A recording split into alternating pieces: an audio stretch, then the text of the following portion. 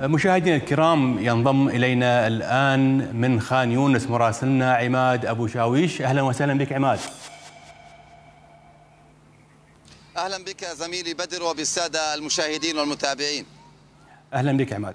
آه، عماد حدثنا عن آخر التطورات في آه، القطاع وبالنصيرات خصوصا. يعني ربما الأحداث التي حدثت في في في النصيرات كانت هي الأبرز آه، مساء ربما مساء ما قبل الأمس. الحديث كان عن عملية كبيرة جدا ومجزرة كبيرة خلفت أكثر من 270 من الشهداء و450 من الجرحى الفلسطينيين العزل في منازلهم. دون مقدمة ودون سابق إنذار هو الأبرز.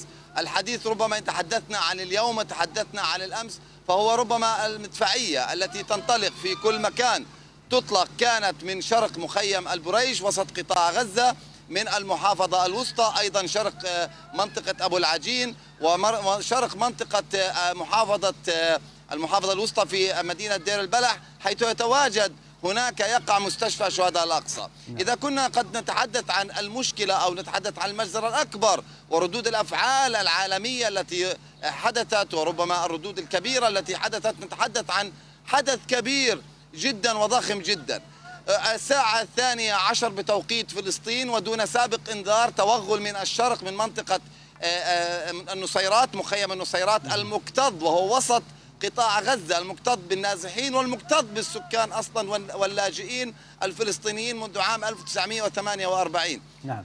بدأت الدبابات تأتي من تتوغل من المنطقة الشرقية من مخيم النصيرات ومن ثم الطائرات الأباتشي تحلق في إلى الشمال الشرقي والشمال الغربي من مخيم النصيرات تطلق نيرانها الأباتشي تطلق نيرانها الطائرات المسيرة طائرات الأوربيرت الانتحارية وأيضا الطائرات الكواد كابتر. تطلق الرصاص على كل من يتحرك في مخيم النصيرات في أقل من عشر دقائق انقلب المخيم عن بكرة أبيه.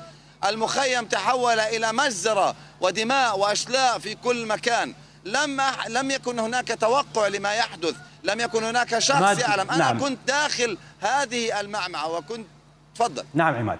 أنت آه، اشرح لي أنت الآن وين متواجد؟ أشوف حركة مكتظة بالناس آه، من حواليك. آه، اشرح لنا أنت وين متواجد الآن بالضبط. تسمعني؟ يعني حاليا أنا أتواجد حيث حيث أتواجد هنا. أنا في في في في في شرق مستشفى ناصر الطبي الذي اجتيحت خان يونس يعني بشكل كامل وبشكل كبير قبل عدة أشهر. وكان هناك توغل كبير إلى الشرق من مدينة خان يونس وتدمير إلى أكثر من 70 أو 80% من مخيم أو من من مدينة خان يونس ومخيم خان يونس.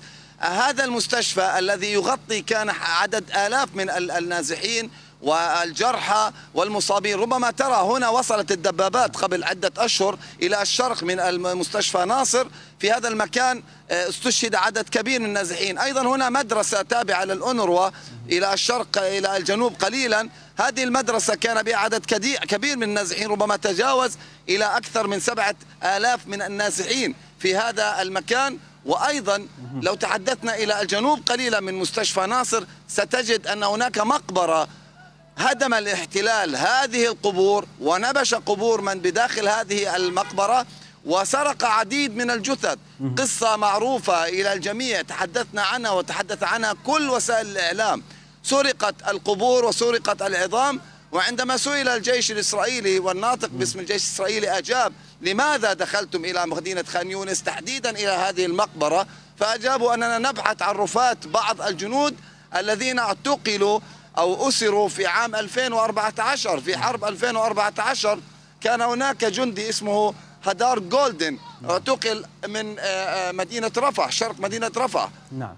عفوا. نعم عماد أيضا آه، فالحديث اليوم عن أن مدينة خ... تفضل. نعم ربما يعني في سياق الحديث أنه على نبش القبور للأسف ربما الحادثة وهي مجزرة النصيرات وتحرير أربعة من الرهائن هل كانت لها يعني ربط بين الحادثتين؟ الجميع دون استثناء لم يكن يتوقع أن يكون هناك توغل أو يكون هناك إنزال أو تدخل قوة خاصة إلى مخيم النصيرات تحديدا هذا المخيم الذي عانى في الخامس من شهر يناير الماضي من توغل كبير جدا شرد كل من في داخل المخيم ومخيم البريج والمغازي ومنطقة المغراقة والزهرة هربوا إلى إلى الجنوب إلى كما طلب منهم جيش الاحتلال. قالوا إلى المناطق الآمنة في رفح وفي خان يونس.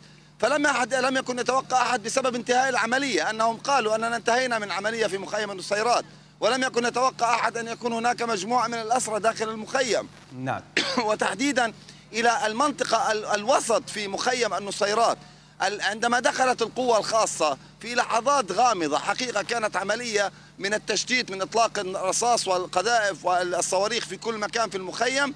القوة الخاصة كانت متوغلة بشاحنة كأنهم نازحين. توقفوا عند أحد المنازل في مخيم واحد تحديدا في منطقة النصيرات شمال مخيم النصيرات ودخلوا إلى المنزل المطلوب. يعني صعدوا السلالم التي كانوا يحملون السلالم من الألمنيوم. بالمسدسات الكاتمة للصوت كما روى لي وكما يوجد هناك بعض الصور كما روى لي أهل المنطقة والناجين من داخل المنطقة أن الكاتمات الصوت قتلت.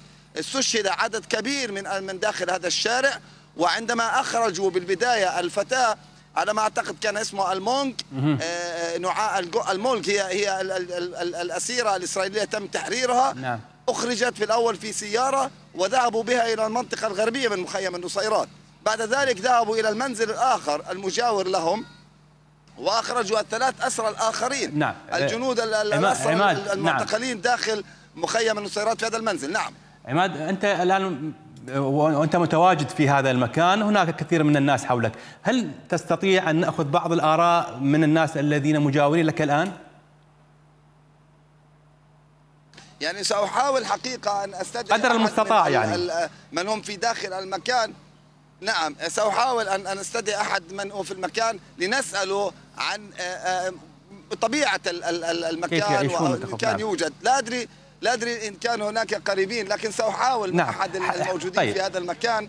سوف لحد ما تحصلنا أحد. يا ريت تكلمنا عن الأوضاع الإنسانية والصحية في القطاع.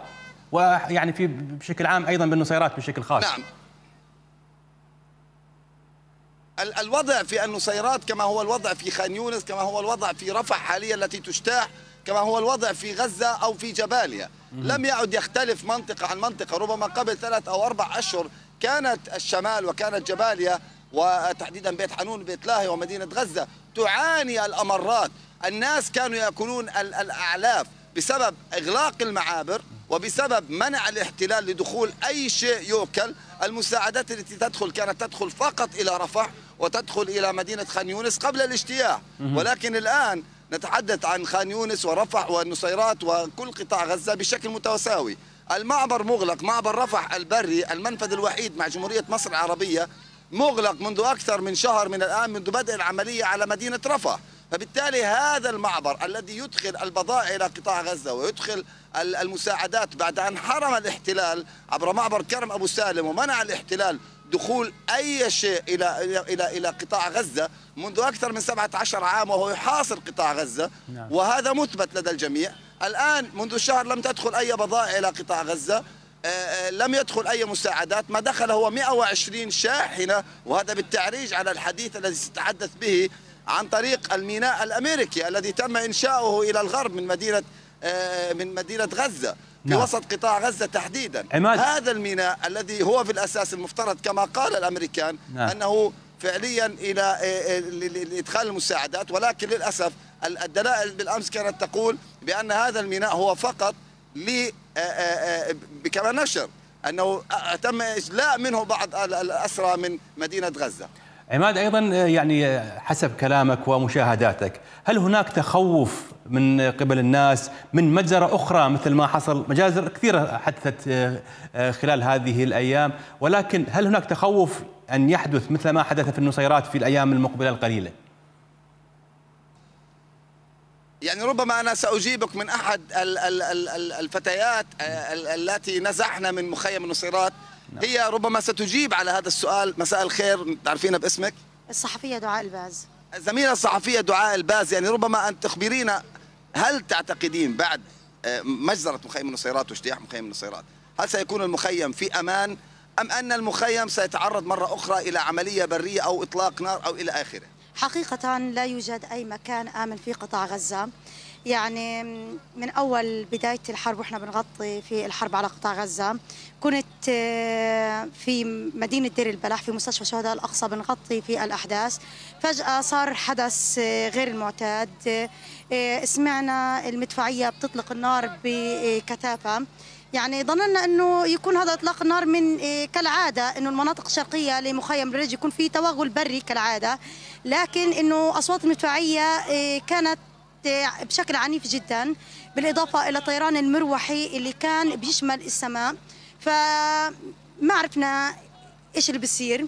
إيه، فجأة اتصلوا على أحد الزملاء في مستشفى الشهداء الأقصى بيقولوا لهم إنه راح يضربوا مكان هدف بيت قريب من المستشفى. فعليا تم استهداف هذا المنزل ومن ثم توافدت إيه، الإصابات بكثرة إلى إلى مستشفى الشهداء الأقصى. إيه، في حقيقة الحال أنه المستشفى لا تسع للأعداد الكبيرة من الجرحى والشهداء لأنه المستشفى تقريبا ما فيها سولار ولا فيها بنزين إيه، بيكفي المستشفى أو أدوات طبية لحتى تساعد على عملية إنعاش للمرضى. ما في كوادر طبية كمان. فإنه المستشفى بنفس الوقت اتملت بشكل كبير في أعداد المصابين إيه، بصراحة إيه، بهذه اللحظات عشنا أجواء من الخوف والقلق هل تتوقع أن يعود الاحتلال مرة أخرى الكرة ويدخل إلى مخيم النصيرات أو إلى أي منطقة أخرى ويعني يحاول بذريعة أنه سيحرر رهائن أو أسرى أو أنه سيقوم بعمليات أخرى هل هناك خوف لدى المواطنين؟ صحيح يعني الجيش بما أنه نفذ أول عملياته وتسلل ونجح في التسلل إلى داخل المخيم بالدبابات والطائرات. سوف يعيد هذه الكرة إيه، مرة أخرى.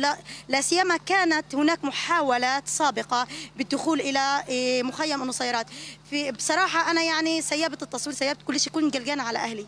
أهلي كانوا في مخيم نصيرات في مركز للايواء في الانوروا يعني بصراحة قعدت ساعات طويلة إن يعني طول فترة العملية إني أحاول أتواصل معهم ما قدرت ما في اتصالات. فقررت إني أنزح لمدينة خان يونس مع الزملاء. إيه لقط معي الخط فطمنت من أختي إنهم يعني بخير ووضع أمورهم تمام. لكن قالت لي حتى الآن هم محاصرين مش قادرين يطلعوا بسبب إنه الكواد كابتر والطيران مسيطر على الوضع. تلقيت خبر استشهاد بنت عمي وزوجها. وبنتها آه، حامل وبالإضافة إلى إصابة آخرين آه، الجيش اقتحم آه، المكان وتم إعدامهم بدم بارد للأسف. حالهم كحال كثير من المواطنين اللي فات عليهم الجيش بدون ذنب وتم إعدامهم.